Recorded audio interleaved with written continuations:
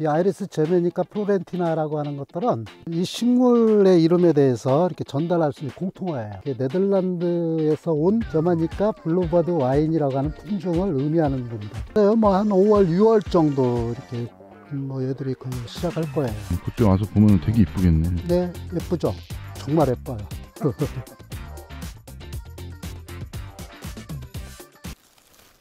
오늘 바쁘신데 온 거 아니에요?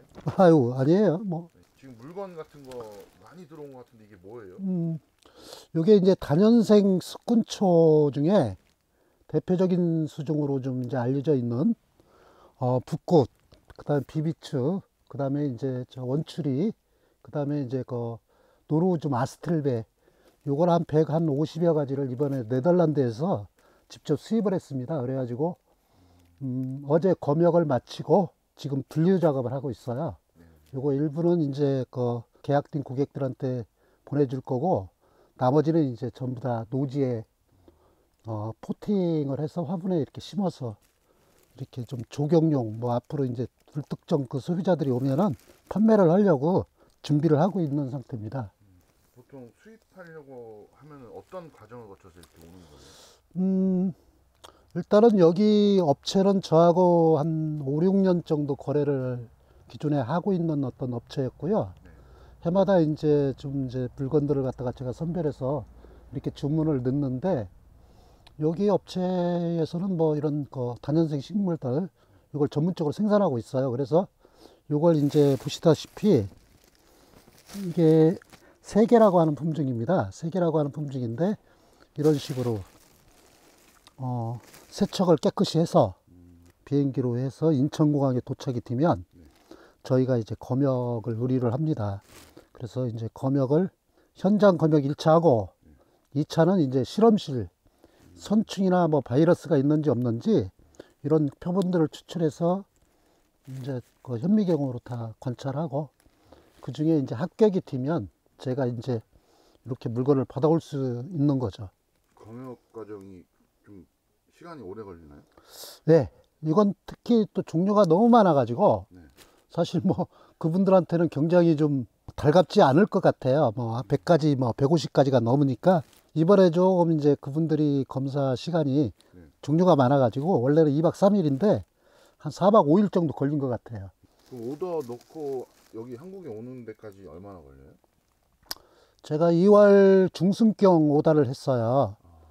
그래서 지금 뭐 거의 3월 중순이니까 뭐한달 정도 걸린 것 같아요. 원래는 저희가 1년 전에 이렇게 선주문을 하는 경우도 있는데 이런 것들은 뭐 저희들이 특별한 품종들이 아니기 때문에 그냥 뭐 한 달 만에 이렇게 주문 넣고 이렇게 물건을 받아온 거죠.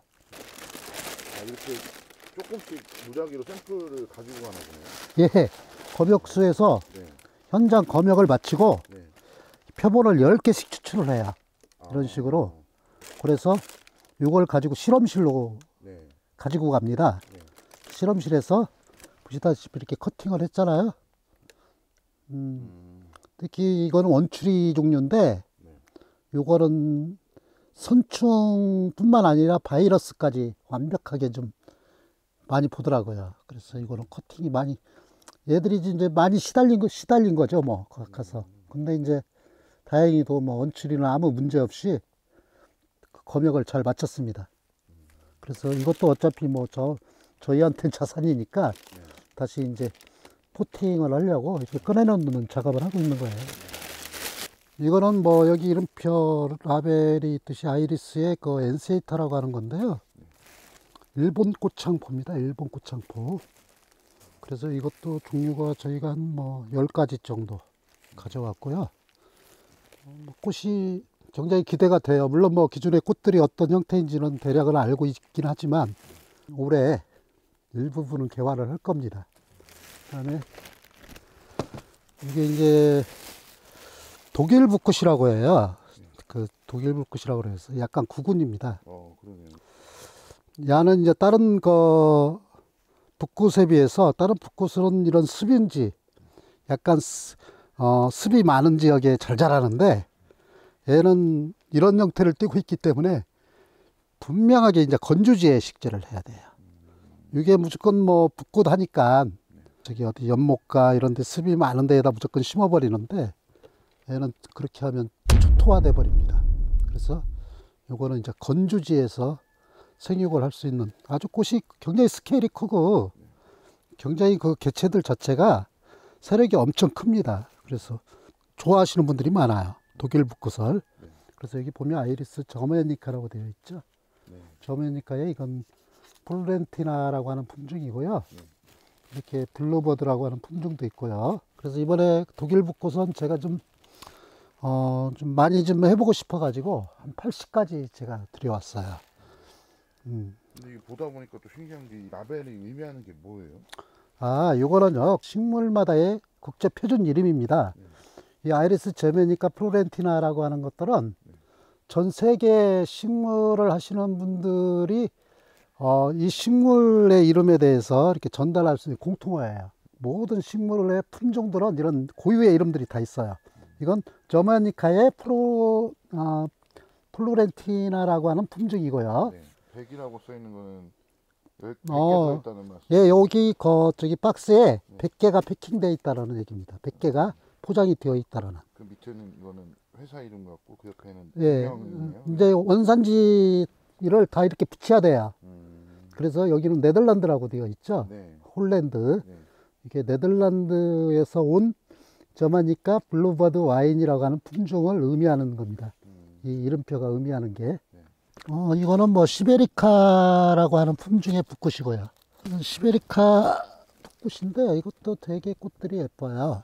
얘가 세력은 그렇게 커 보이진 않는데 이게 잘 자랐을 적에 그래도 또 다른 어떤 독특한 어떤 이질적인 형태를 띠고 있는 붓꽃이죠. 그래서 붓꽃은 네 가지 정도, 다섯 가지 정도를 들여왔어요.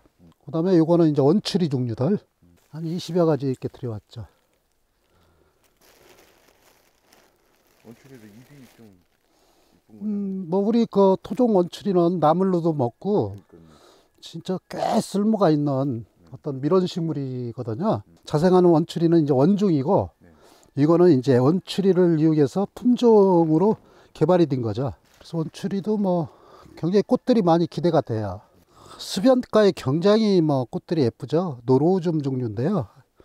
이제 학명으로는 Astilbe라고 하잖아요. Astilbe인데 Astilbe에 이제 그 꽃들이 컬러가 아주 다양하게 있어요. 그 다음에 Astilbe가 우리 토종 그 노루오줌은 되게 이렇게 세력이 크게 자라는데 이거는 좀 왜성종으로 이렇게 자라, 자라는 것들. 뿌리 그렇게 커팅했는데도 살아요? 어, 이게 이제 원래 네. 분주라고 하잖아요. 네. 눈이 어딘가 한 이 두세 개 정도 이렇게 붙어 있을 거예요. 여기 눈 보이네요. 어, 음, 여기 눈 보이죠? 네. 자, 이런 것들이 뿌리에서 달려있는 눈이잖아요. 요걸 분주할 때는 요걸 그 눈을 남기고 커팅을 이렇게 해야 돼요. 이게 이제 분주를 안 하고 한 세력을 따지면 이만하겠죠. 그런 식으로 딱 커팅하고 이건 거기서 이제 올 적에 마르지 마르라고 보습 처리를 하기 위한 peat moss예요, peat moss. 근데 이게 이제 그 전혀 사용하지 않는 아주 새 포- peat moss를 이렇게 해야만 돼요. 아, 오염돼. 만약에 이게 사용했던 peat moss를 쓰게 되면 네. 검역소에 검역 갖는 놈들이 굉장히 그냥 탁 알아버립니다. 그리고 이 피트모스를 쓸 적에는 검역증에 이 피트모스를 사용했다라고 하는 부기를 달아와야 돼요. 만약에 검역증에 그런 부기가 없는데 이 피트모스가 딱 들어있잖아요. 네. 그러면 요거는 폐기입니다. 전부 다. 그래서 그 검역 기준에 관련된 것들도 이제 정확히 알아야만 어, 수입하는데 큰 낭패를 겪지 않을 수 있어요. 이제 물건이 또 앞으로 들어올 예정이라고 하셨잖아요. 네. 그러면 지금 이런 과정이나 이런 것들 또 똑같이 또 거쳐서 이렇게 들어오는 거죠? 아, 그렇죠. 지금 보고 계시는 건 뭐예요? 아, 이게 지금 이제 물건 정리하다 보니까 네. 저희가 검역증이에요. 검역증인데 어, 이제 적절하게 이렇게 좀 개수 같은 것들 처음 보는 사람은 뭔가 싶지만 뭐 그다지 뭐 어렵고 그런 건 아닙니다. 저도 가끔 이렇게 로컬에 있는 그런 뭐 원예 종류나 뭐 이런 데 들어가는데 붓꽃이 좀 수요가 되게 많은가 봐요. 잘 안 보이던데요. 사실 이렇게 품종별로 이렇게 정확하게 분류돼 가지고 네. 일반 유통 시장에서는 그렇게 형성이 안 돼 있고 설령 이제 꽃이 이제 보여야 이 취적의 어떤 상품성을 발휘하는 게 이제 붓꽃이거든요. 음. 지금 이 상태는 뭐 가장 그 기초적이었던 랜덤 상태, 그냥 수입된 상태, 뭐 이런 식으로 수입이 튄다. 그래서 요거는 이제 그 땅에 노지에다 심던 네. 어, 포트에다가 심던 음. 지금 이제 다음 단계 어떤 어, 일들이 필요한 거죠. 이게 이제 이런 종류들이 되게 다양하긴 한데 꽃이 언제쯤 오면은 많이 볼 수 있을까요? 글쎄요, 뭐 한 5월, 6월 정도 이렇게 아, 음, 뭐 얘들이 그 시작할 거예요. 음, 그때 와서 보면 되게 음. 이쁘겠네. 네, 예쁘죠. 정말 예뻐요. 보면 색깔별로 애들이 어떤 그 저들의 아름다움 어떤 콘테스트 네. 그리고 애들은 꽃 자체가 단일 색깔이 아니고 이렇게 좀 무늬들이 이렇게 들어가 있어요. 그래서 좀 그리고 이 도, 이제 독일 붓굿을 예로 들면은 되게 세력이 커요. 네. 크게 자라면서 꽃도 크고 그러니까 좀 그런 취향을 좋아하시는 분들한테는 되게 이제 좀 추천할 만한 어떤 수준 같고 아, 이렇게 심는 거예요? 예, 어떻게 심는 거예요? 이런 식으로 농약을 넣어야 되고 아, 이거 피트모스인가요? 이 여러 가지 섞였죠. 원예용 상토 같은. 예.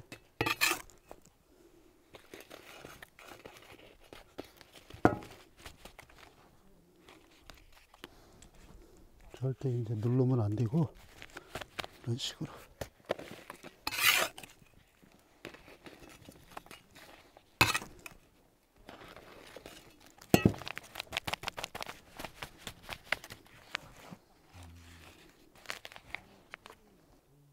아, 작업이 엄청 많이 돼 있네요. 예 이렇게 그 품종마다 네.